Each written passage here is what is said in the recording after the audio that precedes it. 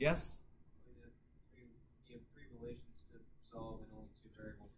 Yes, I need three. I need at least the three equations, right? I, I have to cancel out this, cancel out this, and I need this term to turn out to be exactly what I need.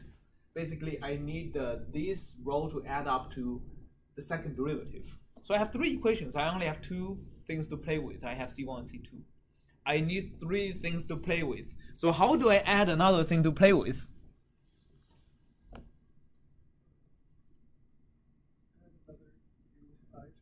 Yes, I add another UI term. I use the i minus 1. I use the UI. How about adding another term? That is UI plus 1. Right?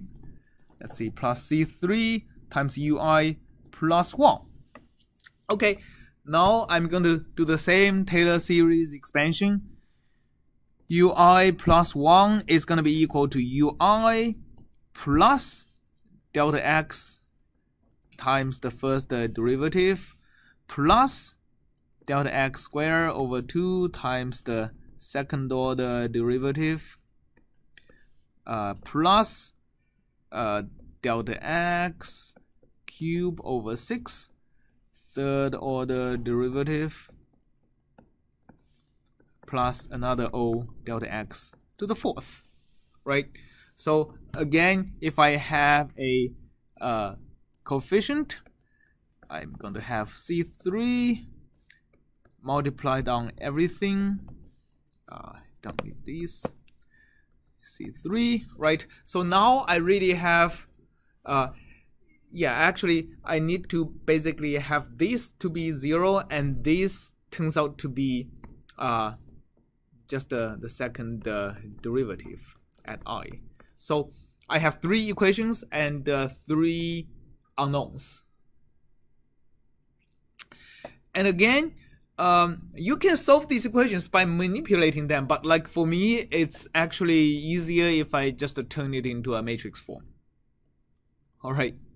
And in, in this case, uh, the right hand side of the matrix is C1, C2, C3.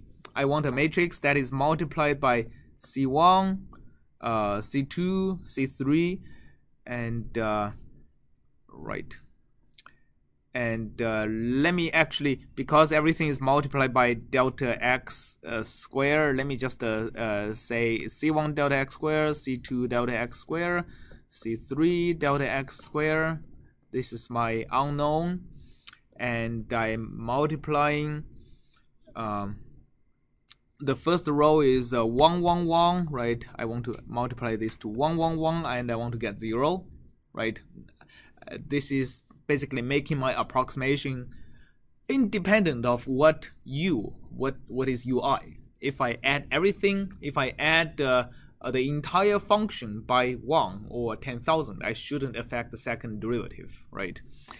And uh, uh the second row is minus, uh, minus 1 0 and 1 right and the third row is uh is half 0 and half, right? Because of the halves here.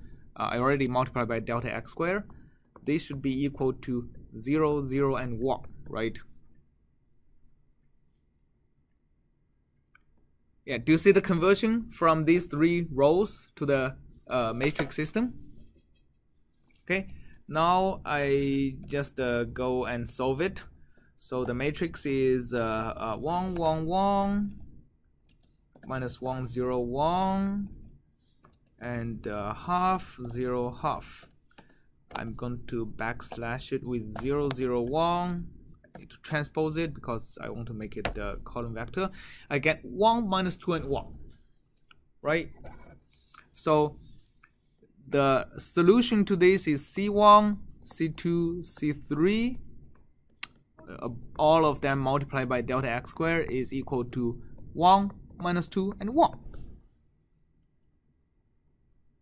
Yes? wondering how you pulled out the delta x squared from the first two rows? I actually didn't. I just, uh, because I know the first two rows are supposed to be 0, right? It doesn't matter if I multiply them by delta x or delta x squared. So I'm not really pulling out anything. I just, uh, I know they have to be 0, so I just uh, can multiply whatever constant I, I, I want to the first two rows. All right.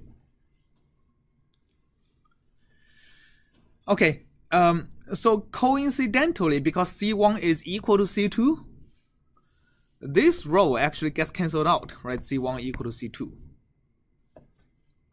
So, I mean, this is not uh, by design, but uh, just uh, by pure luck. I get a scheme that is more accurate than I aimed for, right? So, uh, that's actually something good about uh, uh, the second order derivatives. All right. So essentially, if I do the error analysis, I divide everything by delta x squared to get the error. My error just lies in this. So I get a second order scheme that is O delta x squared. Because I have O delta x fourth and divide everything by delta x squared, I get O delta x squared. All right. So basically, if you plug in this uh, C1, C2, C3 into this, what I get is the final uh, conclusion is the second order derivative is approximated by ui minus 1 minus 2 ui, so that's the minus 2, plus ui plus 1, that's the final 1, or divided by delta x squared.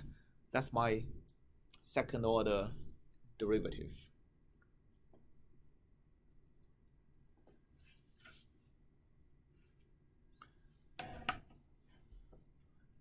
All right.